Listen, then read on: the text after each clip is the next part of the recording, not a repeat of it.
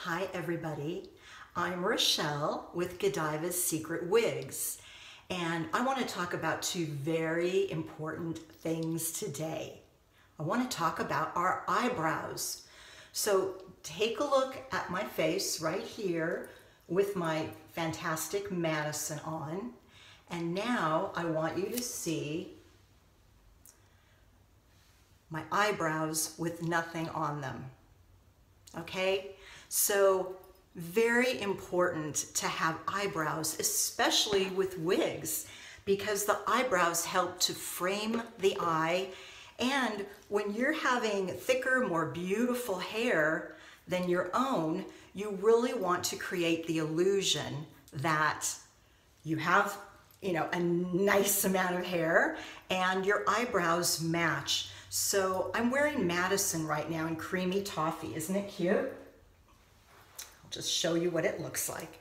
But I'm starting with a very pale wig. So you can tell it's not that necessary on this wig that I have my eyebrows, but still to make my eyes look framed, I love eyebrows. And what I'm showing you today is Godiva's Secret Wigs Eyebrow Kit. It's fantastic. I've been using it for years, but I wanted to show you the difference with blonde rooted wigs and also dark wigs with my eyebrow done and with my nudie eyebrow. Okay, so let's go on to a rooted wig like Freedom in Nutmeg F. And because the wig is rooted, you see the darker, the illusion of the darker roots.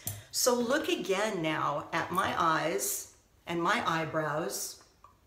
To me, it just looks more complete. Now look here. So it's okay. What I don't care about my eyebrows, nudie, is that I have very little tail, but adding some color to your eyebrows is really important. So in just a minute, I'm gonna show you how I do this eyebrow, but I wanna show you on a darker wig. So many of us, we switch colors all the time. And just by tweaking our makeup and definitely our eyebrows, it makes a huge difference to the illusion, okay? So I'm putting on now a Rochelle in Raspberry Ice. So I'm not going for a perfect wig right now. I mean, I'm not, it is a perfect wig, but I'm not going for a perfect look. Talking more about eyebrows. So a healthy looking, colorful eyebrow, it just, to me, it's very important. So I'm just wanted to take a moment to show you in a darker color, it almost doesn't go. And that's why, especially when you're getting into the deeper colors, to please add eyebrow. So I'm gonna put my Freedom back on because it has less bangs and I can really show you how these eyebrow stencils are so easy. And so are our wigs. You know they're wash and wear. Danielle and I wouldn't show you anything that was difficult, believe me, because we're not into that ourselves. So our eyebrow kit comes in many different colors. I am using the blonde and it's pretty light as you'll see. It comes with six different stencils. Some are a little wider. I like to have a little point go up, so I look for a narrow one that has a little tail. It also comes with your stencil brush, your color, and an extra little brush to line out or brush through your eyebrows. It's very important to blend your eyebrows. What I like to do, a couple of little extra tips, is before I start, whatever eyebrows I have, I just brush them upwards. Remember, everybody, I'm not a makeup artist, but I know you like some new tips, and so I'm just sharing with you what works for me. I also have an Anastasia, it's a little gel. And I find that if I wet my brow just a little bit, the color holds really nicely. So I have my stencil. I had used it on this side. Then it's very important to clean it. I prefer a tissue.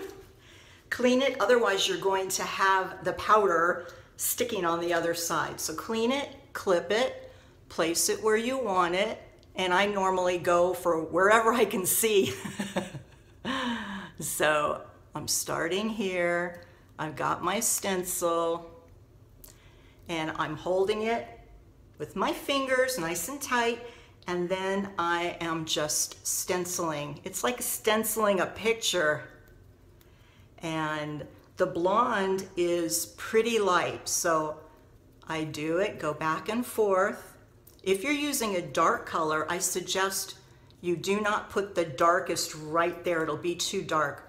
Start in the middle or at the point, and then just go back and forth. Take it off. So it's pretty good.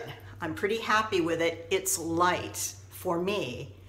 Uh, so I go a little bit deeper, but what I do to finish it off is I just use a pencil that I have and just add a little bit more, just going up, making sure I have the tail. And for eyebrows, you don't want to rush it and you never want to go with a line. You just want little, little, little strokes. And I do it a few times. It takes me a few minutes, but it's really worth it. So I'm pretty happy with it. I love it. Sometimes you have to touch your makeup up just a touch, but I really, really like it. So let me put Rochelle back on because it's darker. The raspberry ice and really just switching your shadows, your lipsticks, your eyebrows. I mean, if I'm wearing a darker wig, I am definitely going, I have my eyebrow kit in three different colors. I don't go the darkest because it's intense. So uh, the middle colors are really great. If you're a pale blonde or you're strawberry blonde, this blonde is fantastic. It also comes on the back these are the six different stencils and it actually shows you what to do. It's so simple, everybody, because you know Danielle and I, we're busy women and we want it easy. So I think it looks pretty natural. I hope you agree and I hope you'll try our eyebrow kit, okay? Take care and have a great day. Bye.